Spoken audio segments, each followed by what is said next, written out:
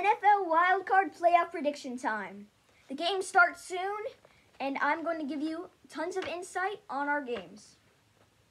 Let's start off with the Bills and the Colts at Buffalo. The Bills are going to win. Josh Allen is going to shine in the cold. The Colts defense is great, but it hasn't faced off against this good of an offense. They've played the Titans, but they're kind of predictable, and well, they should have won at least. They should have won the last game that they played against each other.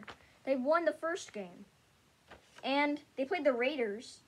They're pretty good. They have a great passing game, but they just weren't in it. Now they're going up against the Bills, one of the best teams in the NFL. They almost beat the Chiefs. They're and they beat the Steelers. They're they're a good team. So Bills are winning 30 to 24. Next we have the Seahawks and the Rams. Russell Wilson will avoid the pass rush of Michael Brockers and Aaron Donald, who will probably be defensive player of the year again. And the Seahawks are winning 28 to 21. Next, we have Tom Brady and the Bucs going up against the Washington football team. Tom Brady will prove all the haters he won't play great, but they'll win the game. 21 to 14. Bucs beat the football team. Now we have upset alert.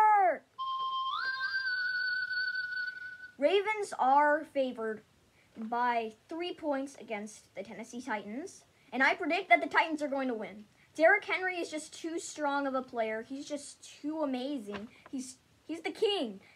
Lamar Jackson's going to play great, but it won't be good enough. Titans 30, Ravens 24. Next, we have the Saints and the Bears. This is going to be the biggest margin of all the wild card games. So, I don't have enough to say anymore. I mean, 35-21 Saints against the Bears. Our final game is another upset alert and it might be controversial.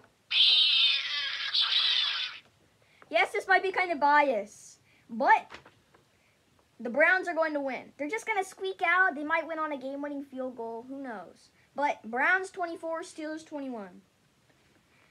Thanks for watching my video, guys. Back on your couches and relax and watch the football games. We got two days of football. Please subscribe to this channel. Please like this video. We are on the road to 100 subscribers by the end of 2021. This will be a good year for our channel, I can tell you that. See you later, guys.